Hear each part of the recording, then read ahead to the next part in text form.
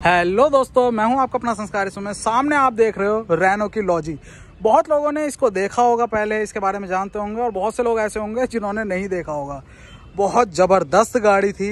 अब थी क्यों लगा रहा हूँ? भाई, अब नहीं आती है डिसकंटिन्यू हो चुकी है। और भाई, बहुत ऐसी चीज़ें हैं जो आपको ऐसी लगेंगी, भाई इंटरेस्टिंग सी इसके बारे में। सबसे पहले देख लो साइड प्रोफ़ाइल इसकी। भाई, इसकी लेंथ देखो आप। ऐसी ऐसी चीज़ें बताते जाता हूँ साथ के साथ, और ज़्यादा चल क्यों नहीं पाई? जैसे मैंने आपको कहा, रोड पर नहीं देखी होंगी। तो भाई रोड पे दिखी क्यों नहीं? इतनी चली क्यों नहीं अगर इतनी अच्छी है? तो वो भी सारी चीज़ें इसके बारे में बात करूँगा। सबसे पहले चीज़ तो आप देख रहे हो सामने से डिज़ाइन। हेलोजन आते थे नॉर्मल रिफ्लेक्टर के साथ, और इसमें बढ़िया सी चीज़ क्या है? आपको एक यहाँ पर भी लाइट दिख रही है, एक यहाँ पर भी लाइट दिख रही है है ना? जो हमारी low beam, high beam, main जो लाइट है हमारी हेडलाइट, वो यही है। यहाँ पर आपको दिख रहा है छोटा सा, ये हो गया पायलट लैंप। जो हमको डीआरएल दिखती है ना जनरली, ये एक तरह से डीआरएल है। डे टाइम रनिंग लाइट है ये। जब गाड़ी चलती थी तो ये हेलोजन ये यहाँ पर और एक वहाँ पर इस तरह से जलते थे। एक ये चीज़ नहीं थी। बड़ा सा इसका मतलब जो इसका फ्रंट लुक है, ज़बरदस्त है।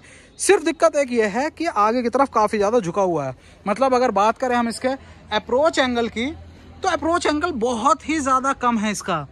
जिस लेंथ की और जिस कैटेगरी की गाड़ी होनी चाहिए और आगे से जो इसका फेस है, काफ़ी ज़्यादा अपलिफ्टेड होना चाहिए। मतलब आप यही देखो सामने खड़ी है अभी, इस समय ड्राइवर ड्राइवर का फेस काफ़ी ज़्यादा अपलिफ्टेड लग रहा है। उसका आगे से अगर हम देखें अप्रोच एंगल काफ़ी बड़ा दिख रहा है, लेकिन ये काफ़ी ज़्यादा ज़मीन को छुई लग रही है। रीज़न जो था, सबसे बड़ा यही रहा। यहाँ से इसकी हाइट देखें, अच्छी खासी है इस जगह से। ये देखो, बराबर ये लगभग, लेकिन एकदम से स्लोप में आ गया जो हमारा हुड है वो। जिसकी वजह से थोड़ा सा लोगों को ऐसा लगा कि यार एग्रेशन नहीं है लुक में। चौड़ाई बहुत बढ़िया है one seven five one M M सत्रह सौ इक्यावन एम एम इसकी चौड़ाई है, जो कि बहुत सही है। सत्रह सौ उनतालीस, सत्रह सौ छत्तीस के करीब तो इसी की है हमारी जो ड्राइवर है मतलब उससे चौड़ी है। एक प्लस पॉइंट ये हो गया। फॉगलम वगैरह सब कुछ है इसमें टॉप मॉडल है ये 2016 की है ये, और शोरूम की है अपनी चली बिल्कुल भी नहीं। आपको ये निशान वगैरह दिख रहे होंगे यहाँ पर। ये आपको दिख रहे हैं ना, इस तरह के निशान। भाई जब ओले पड़ते हैं तो ये हाल होता है, ये भी एग्ज़ाम्पल देख लो। खड़ी थी गाड़ी, करीब हो गए इसे डेढ़ दो साल, या आप यहाँ देख रहे हो रजिस्ट्रेशन। रजिस्ट्रेशन के बाद ये खड़ी रही 2020 मतलब मार्च से करीब करीब दो साल होने वाले हैं। तो उसके बाद अगर गाड़ी खड़ी रहे तो क्या कंडीशन होती है क्या क्या दिक्कत आती है, वो भी अभी अंदर दिखाऊँगा, अंदर इंटीरियर में वो आपको पता चलेगा। एजिंग क्या होती है, खड़ी गाड़ी की वो दिख जाएगी। तो फ़िलहाल 2016 की गाड़ी है टॉप मॉडल है आर एक्साइड जो आता था फ्रंट आपको दिखा दिया मैंने। क्लैडिंग पूरी आपको दिखेंगी साइड से, और आ जाते हैं हम साइड प्रोफ़ाइल पे। लेंथ देख रहे हैं आप, कितनी ज़बरदस्त लग रही है। मतलब इसकी लेंथ है करीब करीब पैंतालीस सौ एम एम, छियालीस सौ एम एम के करीब। और असली चीज़ है इसका व्हील बेस अंदर स्पेस अगर होता है तो भाई वो व्हील बेस पे ही डिपेंड करता है। इसका व्हील बेस है 2810 एम mm. आप ये समझ लो, जो फॉर्च्यूनर जहाज़ है भाई, उसका व्हील बेस इतनी बड़ी गाड़ी मानी जाती है, उसका व्हील बेस ही साढ़े सत्ताईस सौ सत्ताईस सौ पैंतालीस एम mm है। उससे भी इतना ज़बरदस्त बड़ा व्हील बेस है इसका। इसीलिए अंदर स्पेस बहुत दबा के इसमें। मैं आपको बता रहा हूँ प्रैक्टिकलिटी के हिसाब से तो बहुत ज़बरदस्त है। जो मात खा जाती है, कुछ कुछ पॉइंट की वजह से। अब आपको यहाँ व्हील बेस दिखा दिया मैंने, अंदर स्पेस बहुत बढ़िया है, लेकिन दिखता है यहाँ पर एक बहुत कम चीज़, वो है यहाँ पर इसका ग्राउंड क्लियरेंस ग्राउंड क्लियरेंस सिर्फ़ इसका वन सेवेंटी mm है। अब इस तरह की गाड़ी जिसमें भाई आठ सवारियाँ बैठे हैं, बिल्कुल एट सीटर गाड़ी है ये, जिसमें आठ सवारियाँ बैठे हैं, उसमें अगर बिना लदे हुए 174 mm है, और लदने के बाद तो और दब जाता है तो भाई दिक्कतें आना लाजमी है। तो ये भी एक इशू था। उसके साथ आप देख रहे हो क्लैडिंग पूरी की पूरी आपको दिख रही है इस तरह से। ग्लास एरिया बहुत बड़ा है, बहुत ज़बरदस्त है। और खामा खा की जो शेप होती है ना बॉडी की मोल्डिंग टाइप की, जैसे आपको ये दिख रही है, ये बाहर से इस तरह से होता है, अंदर स्पेस कम होता है। इसमें वो चीज़ नहीं है। आपको प्रॉपर एक स्क्वायर शेप में गाड़ी दिखेगी। आप ये देखो मोल्ड ज़्यादा नहीं है, नीचे से जाए शुरू होती है, ऐसे ही ऊपर तक आ जाती है। मतलब नीचे से लेकर ऊपर तक। जो हमारे नी रूम है और लेग रूम है, वहाँ से लेकर सिटिंग रूम है, वहाँ से लेकर ऊपर जो हमारा शोल्डर रूम और हेड रूम आता है, वो भी भाई प्रॉपर मिलता है इसमें। दरवाजे इतने इतने बड़े हैं क्योंकि जो पीछे वाला डोर है, उसी से थर्ड रो पे जाया जाता था। और आप इसको क्वार्टर ग्लास नहीं बोल सकते भाई, पूरी थर्ड विंडो है। ओपन नहीं हो सकती, लेकिन पूरी की पूरी थर्ड विंडो है। और सारी सीटें होने के बावजूद इसमें जो पीछे बूट होता था, बूट स्पेस बचता था, करीब 210 लीटर के करीब 207 लीटर के करीब बचता था। और आपको ये बताऊँ, जो ऑल्टो 800 है, उसके बूट स्पेस की बात करें तो करीब 177 लीटर ही आता है बस। इन चीज़ों से आप अंदाज़ा लगा सकते हो। ऊपर रूफ रेल दिख रही है आपको, बिल्कुल शुरुआत से शुरू हो जाती है, वहाँ तक जाती है। काफ़ी बड़ी गाड़ी है लिटरली जनरली हमको जो दिखता है, ये जो हमारा वेरियंट है ये पीछे की तरफ़ लिखा होता है, लेकिन इसमें यहाँ पर लिखा है फ्रंट डोर पर ही। और इस तरह से आपको पूरा का पूरा लुक दिख रहा है। एलॉय व्हील दिखते हैं इसमें, क्योंकि टॉप मॉडल है, जैसे मैंने बताया आपको। 195 55 आर सिक्सटीन सोलह इंच के हैं। और ये गाड़ी, जैसे मैंने बताया, चली नहीं है बिल्कुल तो कुल तीन हज़ार किलोमीटर के करीब ही है। सारी चीज़ें अभी स्टॉक में ही है इसकी। बिल्कुल, जो साथ में आया था, वही चीज़ें आगे डिस्क है। और पीछे ड्रम मिल रहा है। पचास लीटर की इसमें टैंक कैपेसिटी है। ये आपका फ्यूल फिलर कैप हुआ। और भाई रियर की तरफ़ आते हैं। तो जैसे फ्रंट के लुक में चीज़ें बहुत अच्छी थी अट्रैक्टिव थी। जो चीज़, यानी थोड़ी लोगों को निराश कर गई, वो था इसका आगे झुका हुआ चेहरा। भाई वाकई में थोड़ा सा अपलिफ्टेड फेस होना चाहिए था। चौड़ाई अच्छी है, लेकिन थोड़ा सा नीचे की तरफ़ है। है ना? और वही चीज़ फिर लुक के मामले में जो भाई मात खा गई, वो था रियर रियर आप देखो इसका। रियर बहुत लोगों को भाई पसंद नहीं आया। और मुझे भी पर्सनली कहूँ, मुझे भी पसंद नहीं आया था इसका रियर लुक लेकिन मेन चीज़ आप देखो, कहीं भी स्लोप नहीं है। एक एक इंच का यूज़ करा है इस गाड़ी में कंपनी ने। बस वहीं ये एक तरह से जैसे आपको ईको दिखती है रोड पे। ईको बिल्कुल बॉक्सी शेप है। अंदर सामान और स्पेस ज़बरदस्त आता है। वैगनार दिखती है आपको रोड पे। वो देखो, सामने वैगनार का टेल दिख रहा है वहाँ पर ये रहा। वो भी बिल्कुल बिल्कुल सीधी हो जाती है। अंदर स्पेस बहुत मिलता है। वही चीज़ इसमें थी। प्रैक्टिकलिटी बहुत थी, लेकिन कहीं ना कहीं लोगों को लुक वाइज ये पसंद नहीं है क्योंकि जिस प्राइस में आती थी, अब प्राइस की बात करें तो करीब चौदह लाख के करीब करीब ये टॉप मॉडल पड़ता था। दो वेरिएंट आते थे इसमें डीजल ऑप्शन की बात कर रहा हूँ। डीजल में 1500 सीसी का इंजन होता था, और दो आते थे, दो पावर जैसे हमारी इसमें आती थी डस्टर में, एक आती थी 85 पीएस और एक आती थी 110 पीएस की। पावर ज़बरदस्त होती थी 110 पीएस और साथ में अगर टॉर्क की बात करें तो भाई 245 एनएम का। रॉकेट थी परफॉर्मेंस के मामले में कोई दिक्कत नहीं, लेकिन बात जब लुक की आती है, यहाँ पर थोड़ी गड़बड़ हो जाती है। ये भी आप शीशा देखो, बिल्कुल स्ट्रेट है, जैसे मैंने बताया। यहाँ पर मेरा वाइपर और डिफॉगर साथ में washer high mount stop lamp ये आप देख रहे हो लॉजी इस तरह से लिखा हुआ था। यहाँ पर एक, दो, तीन पार्किंग सेंसर मिल रहे हैं और भाई कैमरा भी आपको यहाँ पर मिल जाता है। ये देखो। और अगर खोलने की बात करें तो भाई पुराना वाला टाइम बिल्कुल यहाँ से इस तरह से खुलता था। अभी इंटीरियर जब दिखाऊँगा तब अंदर का कहानी बताऊँगा आपको। भाई इस तरह से आपको मिलता है स्टॉप लैम्प एक ये हुआ और इधर हुआ। आप ये चीज़ बिलीव करो, ये नीचे खाली फॉल्स है, कुछ नहीं है नीचे यहाँ पर। यहाँ कोई लाइट नहीं जलती। और उसके अलावा हेलोजन यहाँ पर एक इंडिकेटर और यहाँ पर ये रिवर्स के लिए हो गया। इस तरह से रियर लुक में सीरियसली बहुत ज़्यादा काम की ज़रूरत थी। लेकिन काम नहीं करा कंपनी ने, इसको डिसकंटिन्यू कर दिया। आ जाते फिर से साइड पे साइड प्रोफ़ाइल पूरी आपने देख ली। लेंथ बता दी, करीब 4600 एम के करीब है। और आपको ग्राउंड क्लियरेंस बता दिया। और आप यही देखो, इसमें वही कंपनी की गाड़ी है, उससे लेंथ कम है, और फिर भी 205 mm का ग्राउंड क्लियरेंस है। भाई, कितने प्रैक्टिकल है। लेकिन यहाँ पर जहाँ ऊँचा होना चाहिए था, इसमें बस 174 ही दिया है। सारी चीज़ें आपने देख ली हैं, ये हो गया हमारा बाहर बाहर का। और अब आती है बात इसके इंटीरियर की। इंटीरियर में क्या क्या मिलता है? तो भाई इंटीरियर के लिए ये है कि दो बटन दिए हुए हैं इसमें। लॉक एंड अनलॉक का जनरली जैसा मिलता है, वही चीज़ है। चलते हैं ज़रा इसके अंदर। और भाई ये मिल रहा है आपको डोर ट्रिम जैसा मैंने बताया, गाड़ी खड़ी हुई थी करीब दो साल होने वाले हैं। और भाई अंदर मोल्ड वगैरह, जो फंगस वगैरह होती है, जो पुरानी गाड़ी खड़ी रहे तो भाई क्या हाल होता है इंटीरियर का नमी में? क्योंकि हल्द्वानी में हूँ, आप जानते हैं नमी कितनी है यहाँ पर। तो भाई वही चीज़ है। यहाँ पर कपड़ा आता था इस जगह वो भाई अपने आप ही छूट गया। यानी जब सफ़ाई वगैरह हुई है, इसकी पॉलिश हुई है तो ये उसमें छूट गया। तो भाई, आती है बात इंटीरियर की अब, पूरी बात करें। यहाँ पर ये डुअल टोन में दिया हुआ है आपको, ये देखो। चारों की चारों पावर विंडो यहाँ पर मिल जाती हैं आपको, और ये बटन हो गया हमारा। बाकी की जो पावर विंडो है, उनको इनएक्टिव करने के लिए। और बाकी कोई कंट्रोल नहीं है, क्योंकि जो हमारे ओ आर है, उनको इलेक्ट्रिकली हम एडजस्ट कर सकते हैं। फोल्ड नहीं कर सकते तो फोल्ड तो मैनुअली करना था। इलेक्ट्रिकली एडजस्ट करते हैं, ये यहाँ पर स्टॉक दिया हुआ है, इस तरह से।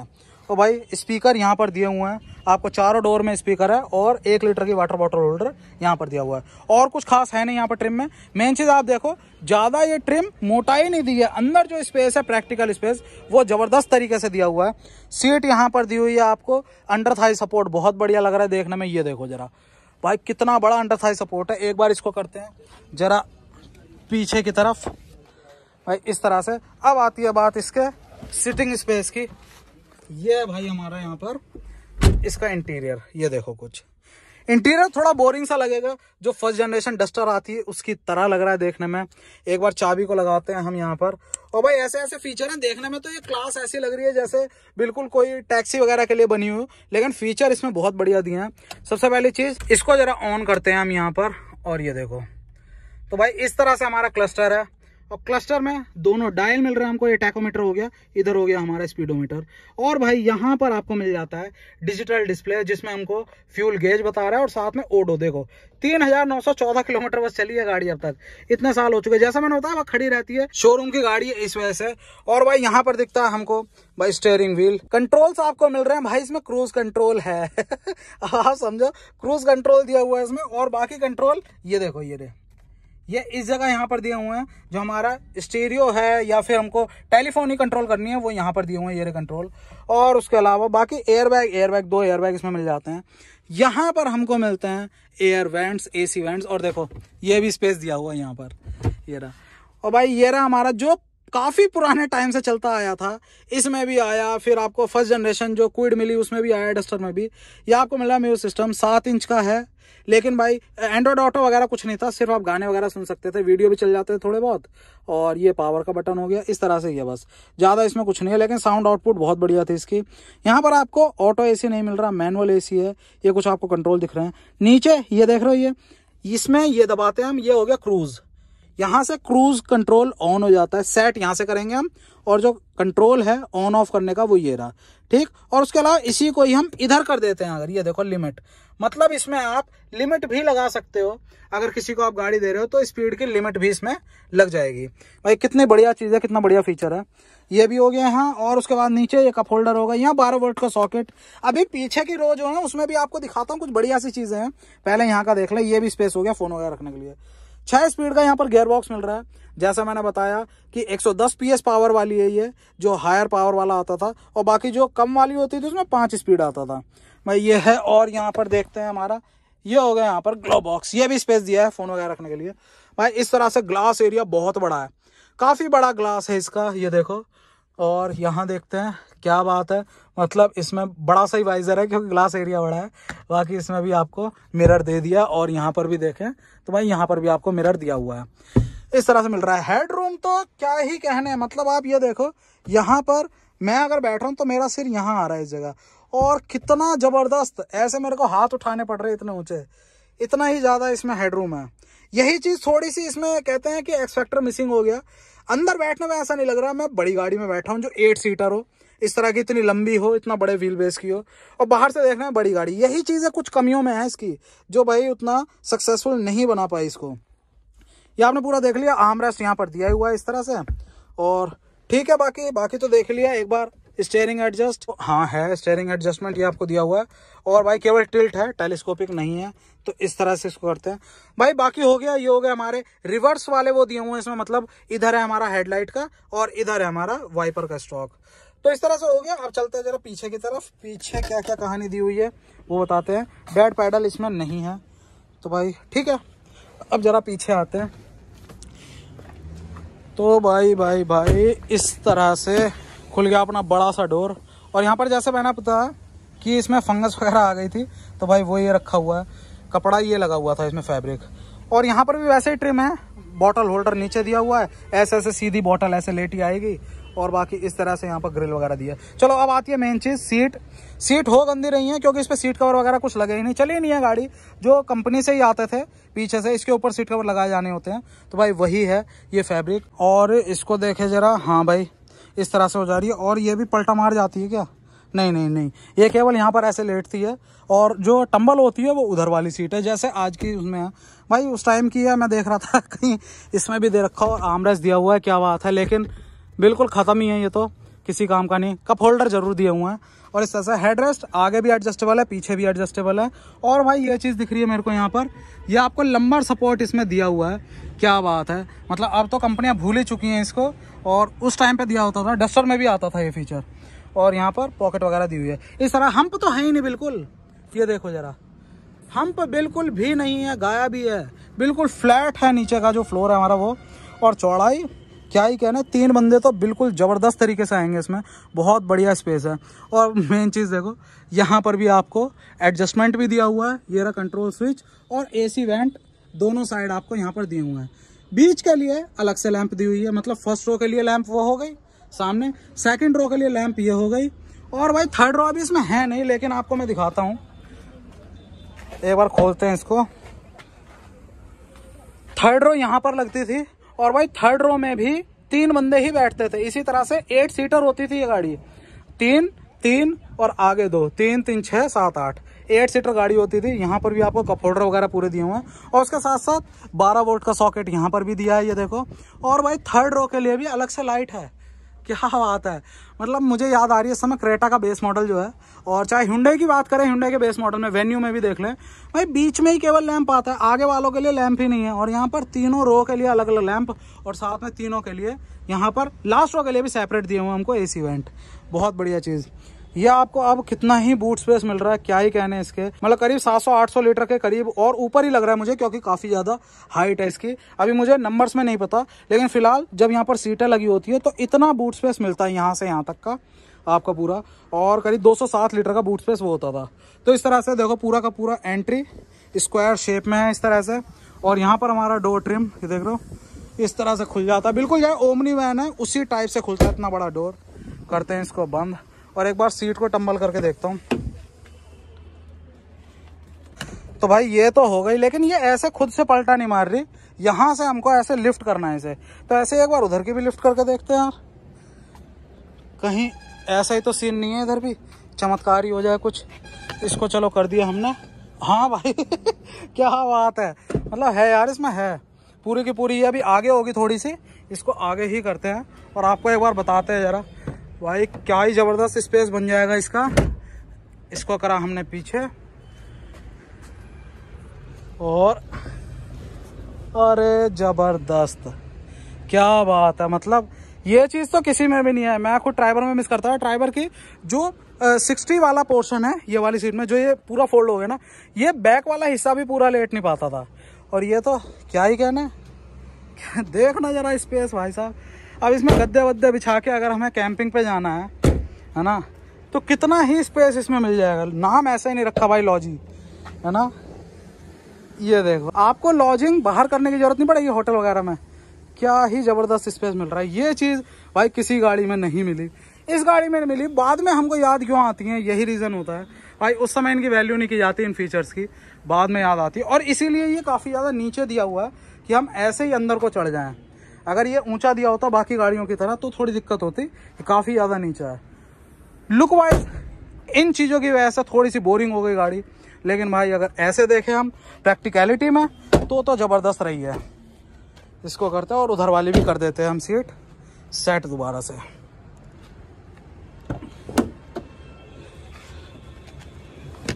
ओहो, हो, भारी बहुत है भाई सीट्स तो भाई, ये है पूरी गाड़ी आपने देखी। मेन जो इसके मतलब हम निगेटिव्स कहें जिसकी वजह से नहीं चल पाया प्रोडक्ट सबसे पहली चीज़ जो इसका ग्राउंड क्लियरेंस है, वो, है ना? दूसरी चीज़ जो इसका व्हील्स बॉडी मतलब बड़ी लगती है और व्हील्स जो है इसका टाइनी से लगते हैं। जो इसका फ्रंट फेसिया है, वो काफ़ी ज़्यादा आगे की तरफ़ बैठा हुआ है। ये आप देखो। थोड़ा इसको एग्रेसिव करना था, थोड़ी ऊँची।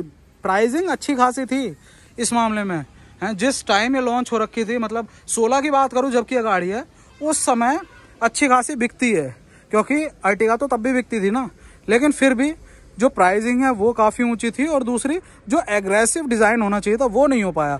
थोड़ा बोरियत की तरफ़ चला गया प्रैक्टिकलिटी की वजह से, ये पीछे से देखो। तो भाई, इस तरह से पूरी की पूरी गाड़ी है। बाकी गाड़ी कैसी लगी, आप बताना ज़रूर। आपके ओपिनियन ज़रूर दो, क्योंकि इस समय ऐसा तो है नहीं कि भाई मैं कहूँ खरीद लो, आप पूछो भाई खरीदे या नहीं खरीदे। खरीदने वाला तो सिस्टम इस समय है नहीं। लेकिन इंजन ऑप्शन मैंने आपको बताई दिया। हाँ माइलेज माइलेज भूल गया था तो माइलेज भाई बीस का दे देती थी। बिल्कुल ट्वेंटी वन के अराउंड देती है ये, जो एट्टी फाइव पी एस वाली आती थी, और ये एक सौ दस पी एस वाली है। ये भाई आपको देती है बीस के करीब, वो इक्कीस का देती थी। और अगर टॉर्क की बात करें तो एट्टी फाइव पी एस में ये गाड़ी देती थी आपको दो सौ एन एम का टॉर्क और वहीं 110 पीएस में देती है। 245 एनएम का टॉर्क और एक चीज़ और निगेटिव थी, भाई, ये थी फ्रंट व्हील ड्रिवन बिल्कुल माइलेज अच्छा दे रही है रीज़न वही था। लेकिन भाई फ्रंट व्हील ड्रिवन है। इतनी बड़ी बॉडी पीछे की तरफ़ मतलब खिंचाई में थोड़ी सी वो आती है, लेकिन चलाने में बहुत फन टू ड्राइव है। ये चीज़ कन्फर्म है। तो भाई ओवरऑल गाड़ी कैसे लगी बताना ज़रूर। आपको एक एक्सपीरियंस शेयर करना था आपके साथ कि ऐसे भी प्रोडक्ट आए हैं। कुछ टाइम से पहले थे या फिर ये कहें प्रैक्टिकलिटी के चक्कर में जो लुक है लुक नहीं दे पाई कंपनी तो अपनी राय ज़रूर रखना, अपनी ओपिनियन ज़रूर बताना। गाड़ी कैसे लगे बताना ज़रूर। अगर आपको गाड़ी अच्छी लगी, वीडियो अच्छा लगा हो तो प्लीज़ लाइक करना वीडियो को। शेयर करना अपने दोस्तों या सब्सक्राइब कर लेना संस्कार चैनल को। जय हिंद।